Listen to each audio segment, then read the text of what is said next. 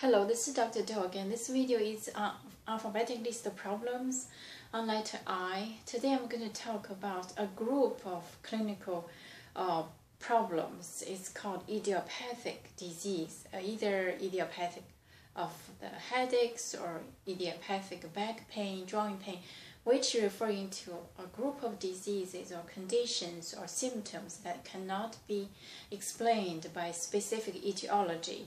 Um, these are uh, either through the laboratory test or physical examination cannot reveal the cause what, uh, of this particular headaches or uh, back pain or abdominal pain, but they are truly diseases, not like a malignery or factitious disease. They're different from uh, the category of the psychologic um, uh, diseases, but these are the true diseases, but without knowing causes. So these refer to the idiopathic. In general, uh, talk about the diseases. Actually, in general, you can categorize in the um, four category. Like idiopathic is one that uh, uh, in this category that uh, refer to all of those diseases or conditions or clinical presentations which cannot be explained by the particular etiology or aseptic which uh, refer to another a huge cluster of diseases that are not caused by the viral or bacterial any kind of infection. I'm going to talk individual, give you some examples. Or the septic diseases, which means the infections either caused bacteria, viral, a viral infection, or parasites or fungus, etc. So these are the, the another cluster of um, diseases very common, either clinic or hospital. And there's another, of course, the growth, the abnormal growth, either benign or malignant, referring to the, the, um, the tissue or the organ undergoing abnormal change through proliferation or apoptic uh, uh, cell undergoing the, the uh, regulated death. So these are the process. So basically these are the, the four of these classes of conditions really can um, categorize all the diseases or conditions. For example, the, uh, the aseptic causes could be genetic, could be autoimmune, um, and also actually the idiopathic you may think belong to this category. However, idiop idiopathic can be caused by the uh, uh, uh, septic disease, and sometimes they integrate to each other. For example, the cancer uh, could be caused by the, the HPV virus infection, uh, pose the risk of the cancer and, uh, and any other um, cancers. So they are interrelated. However, if you categorize, in these four groups, then might be easier to understand the pathophysiology and the etiology along with the uh, prognosis and also the management.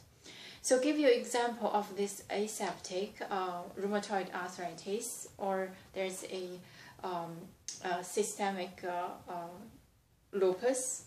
So these are all the conditions not caused by the infection. It's caused by the autoimmune causes, the overreaction of the body immune system product the uh, antibodies against the self uh, through different mechanisms. So, and also some other genetic diseases, for example, the uh, lysosome storage disease or glycogen storage disease. Those are the cluster of genetic. Um, the genetic causes either increase the risk of the specific disease or just clinically manifest of the conditions of diseases. So this is uh, uh, uh, uh, another class of the uh, diseases um, in terms of etiology. In terms of septic, it's quite straightforward, so common. Uh, I cannot say which one is most common, probably septic or uh, the non it, it's really hard to say, but if you consider upper respiratory tract infection, urinary tract infection, the common cold, the flu, and the uh, strep, uh, strep throats, they are all belong to this kind of uh, septic causes and of course manage accordingly uh, based on the pathogens.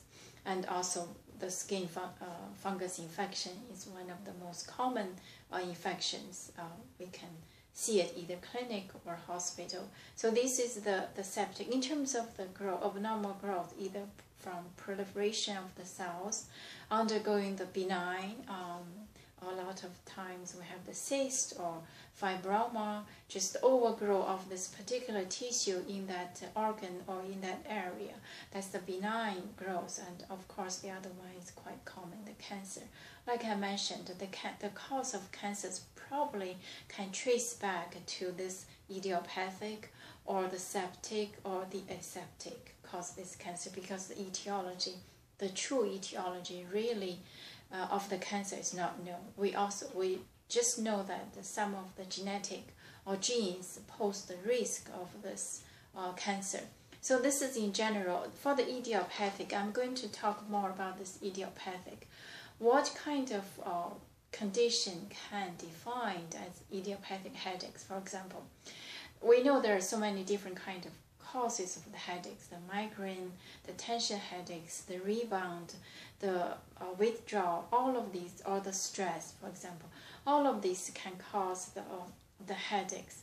However, if uh, through the thorough workups and uh, couldn't find any uh, causes, or couldn't find the reason for this headache, the headache patient present to the clinic just saying the headache cannot uh, fill in any of the, the above categories. So that kind of headaches diagnosed probably would just say idiopathic headaches, idiopathic causes, or idiopathic headaches, or the back pain and the same idea. Or if the patient present with back pain, cannot uh, fit in the trauma or the inflammation or any other uh, causes of this back pain probably will diagnose as, as idiopathic back pain. In terms of management, may or may not uh, using the other uh, management for the uh, known etiology. For example, the headache. The migraine, we also we know the uh, the TCAs or some other SSRI can treat the, the migraines. But for this idiopathic headaches, it's really hard to say what are the causes. Probably in terms of the treatment, the management, on the trial basis, uh, you try this, see whether it works or not, or you try that, see whether it works or not. So a lot of this kind of idiopathic disease is really is the um, the puzzling for the physicians and also the suffering for patients. The idiopathic diseases is could be because the uh, the symptom is so vague, patient couldn't describe it accurately, or because of the, the limited of uh, knowledge we know in terms of the diagnostic laboratory or clinical criteria. So these are uh, the uh, anyway. There's uh, there are a cluster of these idiopathic conditions. The video uh, here presented just for those patients who uh, had this kind of headaches or back pains to the clinic and the doctor couldn't tell you what are the causes.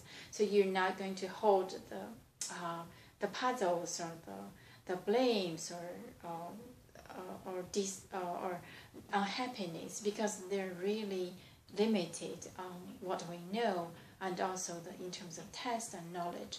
And also the most important thing about this idiopathic is the, the management. As long as the medication can make you feel better, then uh, that serves the purpose.